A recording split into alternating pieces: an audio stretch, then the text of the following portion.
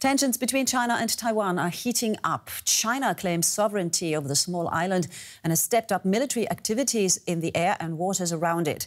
Taiwan is determined to resist the pressure and demands China back off. The saber rattling also has economic implications. Taiwan is a major source of computer chips for the global economy. The world would grind to a halt without Taiwan's computer chips.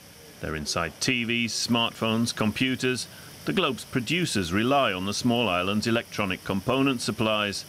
Most deliveries go to China, which regards Taiwan as a breakaway province under its One China policy. But recently tensions in Taiwan Strait have reached heights not seen in years. On Tuesday, the island's president, Tsai Ing-wen, inspected an Air Force base. A clear message addressed to Beijing. We have to deal with the provocation of People's Liberation Army fighter jets surrounding Taiwan and disturbing the peace.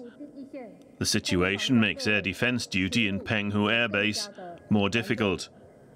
But I have faith in every individual, that every one of our well-trained Air Force brothers and sisters can carry this heavy responsibility.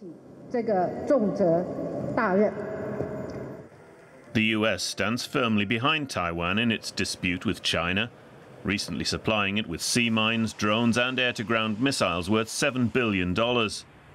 That's partly because Taiwan is such a global trade heavyweight. Alongside South Korea and Japan, it's a mainstay of world microchip production, making it strategically important for Western economies. Besides that, though, Taiwan is a functioning democracy. That makes it a thorn in the side of Beijing, because it is living proof to Chinese people that there are other successful political systems in the region. And for more, let's bring in our correspondent in Taipei, Tsung Han Tsu. And uh, here in the studio with me, my colleague and China expert Clifford Coonan. And Clifford, I'd like to start with you because uh, what we see here, do you think that Taiwan could be a, a second Hong Kong? What is China after? Well, I think the short answer is yes, it could become another Hong Kong. Um, what we've seen with the national security law in Hong Kong is kind of a blueprint almost for what could happen in Hong Kong for uh, sorry, in Taiwan. For a long time, um, the Chinese government was playing a very um, was a conciliatory role, uh, trying to woo Taiwan, um, and that hasn't worked. Just as in Hong Kong, the, the two, two, one country, two systems model was held up as a model for, for Taiwan. But now we can see that it's, it's, there's a lot less carrot and a lot more stick. And of course, as you mentioned, all of this has been going on for quite some time, so the timing is quite interesting. We'll talk about that in a moment. But Sue, um, I mean, the one thing is the military tension, uh, but what are the implications for the economy? How important is China for the Taiwanese economy, both as a business and trading partner? Well, China is Taiwan's number one trading partner, and Taiwan's exports are highly dependent on China. The percentage of goods um, to um, China, Hong Kong, and Macau rose from 37% in January to almost 45% in July. So um, that's what makes Taiwan a economic growth, the first among the four Asian tigers. That's um, Hong Kong, Korea, and uh, Singapore. And it's really hard for Taiwan not to depend on China right now because China is probably the first country to recover from the pandemic. But experts believe that the threats of war from China will further push Taiwan to the U.S. Uh, that, that's also an interesting point, uh, and that maybe that is what investors are betting on. Because uh, when I was looking at the markets, Taiwanese shares were down, but nothing dramatic. On the other hand, we saw the Taiwanese dollars reach a seven-year high. Uh, are investors spooked? How is all this connected? Well, it's probably odd and sad to say that Taiwanese people are used to it. Um, the threat has been there for more than 70 years, and there were times when tension was really high and China fired missiles at the sea near Taiwan. But this time, at least until now, only warplanes have flown close to Taiwan. So uh, the market is still stable, currency stable, and the housing prices are still very high.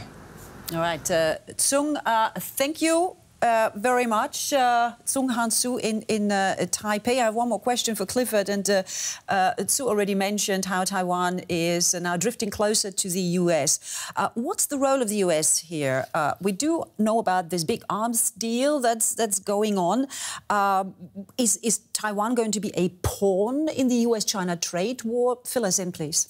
Well, I think it, it, it's certainly a player in the, in the trade war in that it's it's benefited very much from uh, the fact that um, there's restrictions on trade with China, um, and the microchips have been a particular recipient of that. Um, the US has vowed to protect China if there is a conflict. Um, that promise was made 70 years ago, as, as Sung Han mentioned, but, um, but increasingly under Trump, there's a sign that it could do. So we're entering a very a phase where the geopolitical dynamics of what's happening in the region, and it's always been a flashpoint in the region, um, are also taking on very strong economic uh, um, tones. And so going forward, um, we could see the US showing much more support for Taiwan, and that would have um, big implications for, for, for the economy in the region. Well, and with about half a minute to go, just very briefly, Clifford, do we have to be worried now about our computer chip supplies? Well, I think um, the fact that Taiwan is such a big player in the chip global chip uh, market that it's able to and it's able to move things incredibly quickly. So I think that it has. Um, it, it, I think for the time being we're probably safe, but it's always it's something we're going to be watching very very closely. All right, Clifford Coonan, uh, as always, thank you so much for your time and your expertise.